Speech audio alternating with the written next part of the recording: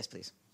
And then after that, Celia. Thank you, Farhan. Uh, last Wednesday, there was an attack on uh, three trucks uh, running between Mauritania and Algeria. Uh, then there was conflicting report, one from the Algerian presidency that claimed that these trucks were uh, attacked by Morocco. Another one followed from the uh, foreign minister, and he said that the trucks were uh, destroyed uh, east of the berm. My, my question is, since uh, we have the Polisario out of the ceasefire and they are operating in the east of the berm, what have happened? Did MINURSO conduct an investigation uh, on that uh, issue? And if so, if there is any results uh, or not? Yes, yes. Minurso did uh, look into this. Uh, we learned of the incident uh, on the 2nd of November, uh, in other words, three days ago.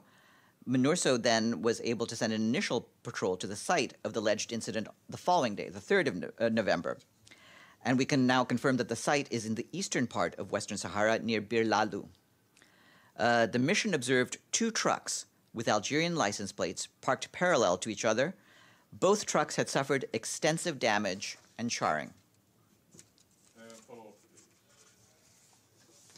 Uh, follow up. Uh, Okay.